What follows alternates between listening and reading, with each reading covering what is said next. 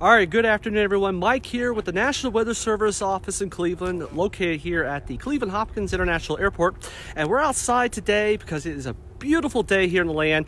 Had a little uh, technical difficulties with the last live video, so we're going to redo this real quickly.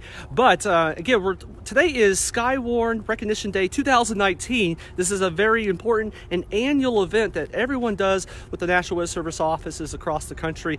And we're going to talk more about this as we go inside this vehicle and talk with one of the licensed ham operators this afternoon, see what they've been doing all day and what they hope to achieve out of this. But uh, anyway, so if you have any questions, feel free to uh, type them on here and we'll answer a few of those questions here at the end of this little broadcast. But again, uh, we thought we'd take things out here and uh, talk to the nice folks that came out and did this today. Again, this day is amazing. I, I, this is a rare treat to get this type of nice weather here in December. 40 degrees, no wind and sunshine it's a two thumbs up for the weather guys. Okay, so we're gonna go in this vehicle. This is a special vehicle. This is a uh, event support vehicle. And let me flip this around here and I'll show you what this looks like. This is a mobile vehicle that they can take out and, and when a disaster strikes and help with communication. So let's go in here and talk to Evan.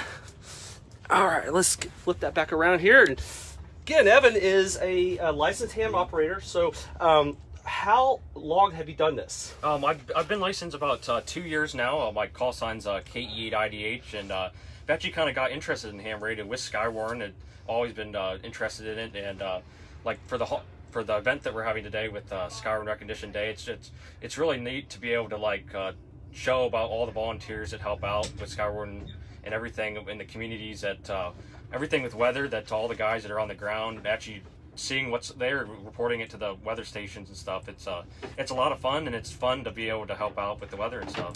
And Evan's been doing it for two years now. You've been licensed two years, and we have this fellow right here. You said, Hi. Hi. What's your name again? I'm Eric, N8DUC.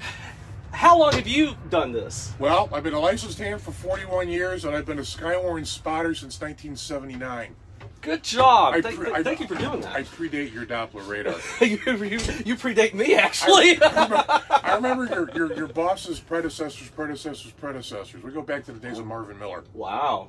Impressive. And you've probably seen a lot of change. I mean, you, um, all the changes that have come over the decades that you've been doing this. Well, you know, there, there have been a lot of changes, but there's a couple things that have always stayed the same. Okay, you guys sit here, you've got great, great setup, phenomenal expertise at the weather offices, but as you get a distance from the Doppler radar, there's a certain altitude you can't see below. Mm-hmm. Okay, what we do, you train us. You guys, I've been to spotter training every year since 1979, and I always learn something new every time because there's always something that's different but we provide the ground truth to verify what you guys are seeing on the radar. Because, like for instance, you guys cover out towards Toledo. With the takeoff angle on the antenna, you can't see below 18,000 feet by the time you get 100 miles out. That is correct. The radar does have limitations, and that's when you guys are able to Right. fill in those gaps that technology Right. doesn't And- allow and- us to see. And the fact that you guys train us in what to look for, you know that if one of one of our trained spotters says, "Hey, this is what I'm seeing," you know that that guy on the ground knows what he's talking because you taught him. You taught him. So, Evan, tell me what you've been doing. I'm going to flip the camera around here and tell me. Oh, hey, Eric, thanks for joining us here live on Facebook Live. So, what are you doing right here on, on your computer? Um, we're actually uh, we're making contacts. Uh, it's a with the event, a two day event here, and uh, we're actually up to 141 contacts here. That's actually the log. And uh, yes, the log here with logging all the contacts with their call sign and uh, where they're located out here. And we actually just actually uh, the goal is to talk to a lot of the different uh, National Weather Services, and uh, actually just talked to one here from uh, Lincoln, Illinois. So it's, it's just really neat to be able to talk to all the different guys that are doing the same thing. And So, um, flip this back around. So, what? Uh, so, is that the furthest you've been able to talk to today, or? or... Oh, like there's lots of different, like uh, for example, here uh, North Carolina, uh, some more eastern states like New Jersey and New York and Pennsylvania, and basically just all over the United States. and uh, and I guess like solar things that are going on or atmospheric things uh, with uh, space weather can can sometimes interfere with the radio waves uh, and, and and depending Or- on how or- far or or how or short helps. or helps. It- It- That's right. Uh, where we are, because right now we're at the bottom of the 11 year sunspot cycle. Mm-hmm. Uh, the sun is extremely quiet. There's still enough ultraviolet radiant high energy particles from the sun to light up the ionosphere. But the fact that our antenna orientation also has a lot to do with it. The way our antenna is set up, because of its proximity to the ground, instead of being up on a hundred foot tower, which they frown upon when you're at an airport. Something about airplanes, you know. But uh, because our antenna is alone up to the ground, the propagation mode that's in play here is called NVIS, Near Vertical Incident Skywave. Uh, that provides you reliable coverage out to about five to eight hundred miles. Wow. Okay. And I've, I've, I've done these before in Missouri, Springfield, Missouri. I worked at the weather Mm-hmm. office in Springfield, Missouri, and also uh, Lake Charles in Louisiana. And, and we, when we had you guys come out, uh, the local chapter down there, um, they were able to get as far away as Alaska. You know, I mean, in certain conditions, it is Depend- very rare. Depends on what band you're on as well. We're currently operating on 40 meters. The intention is to cover that five to 800 mile uh, radius. That's where the bulk of the population in the U.S. is. Most of us, let's face it, most of the people are east of the Mississippi. Yes. And, I mean, talking to east nowhere is great, but there's nobody there. Yes. You want to talk where the people are. Yeah. So being on the 40 meter band like we are with the NVIS type antenna setup, uh, anybody east of the Mississippi we can, probably talk to.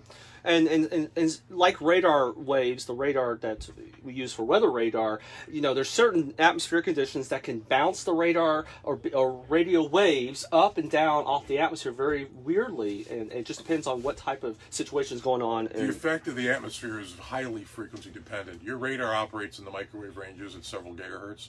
We're down in the, in the short wave bands at seven megahertz. Uh, we actually rely on those features to provide long distance propagation. When you're trying to get reliable weather observations with a divine radius, those reflections and propagation enhancements don't always help you. yeah. So let's see. Todd uh, is it Sheffer uh, said uh, make contact with them about uh, 1713 UTC today. Sweet. Yeah, DEN3PKJ. So, thanks, Todd. Thanks for saying that. Um, so again, um, glad you guys could come out here. We, we, I mean, hey, we ordered up some really amazing weather, and um, Cleveland, December, 40 and sunny. Hey, we'll take it. yeah, we'll take it. No, nice job, no, no wind, no cold, no work. snow. I want to. We put in an order in advance for good weather on certain days? yes, uh, well, I wish we, it was that easy, but uh, but yeah, um, we appreciate you guys being out here, and thanks for doing this. And uh, we just wanted to show the public and our followers out there just a little bit what you guys do because it is a very important and valuable tool when it comes to communicating. And, and most importantly, anybody that's out there watching this, you can do this too. It's not that hard to become a ham radio operator. And once you get involved with that, hook up with your local Skywarn group, and then the fun really starts. And what what uh, website or maybe contact uh, if, if Well, someone is out it's- there that's interested it's, it's in- gonna it's and it's good for all ages. I mean, you know what I'm saying, like generations. It's not, I I have seen people pass their license, their amateur radio license at the age of five. Five. So five year olds have done this. Uh, if you can fog a mirror, there's really not much excuse for you to not do this. It's a, a lot of fun. Always new stuff to play with. Um, it, it's it's amazing. I know where the technology's gone since I've been licensed. It, it's really it's cool. And then you get to help out guys like this, and that's you want some self satisfaction. Do that. it's good service. It, it certainly is. Well, thank you for coming out. Thank You you, Evan, for uh, letting us. Thanks, us- thanks for having us. All right, well, all right, yeah, guys. If you have any more questions, uh, feel free to uh, put them on here, and we'll answer them throughout the day on social media. But again, thanks for joining us for on this Facebook Live here, and I'll do a real quick panorama because I love these of the beautiful, beautiful day. Giving the Doppler over there a little bit of a break today. It's on very, very slow, clear, uh, clear weather mode today. Beautiful day here at the uh, airport. All right, everyone, have a great weekend. We'll talk to you later. Bye.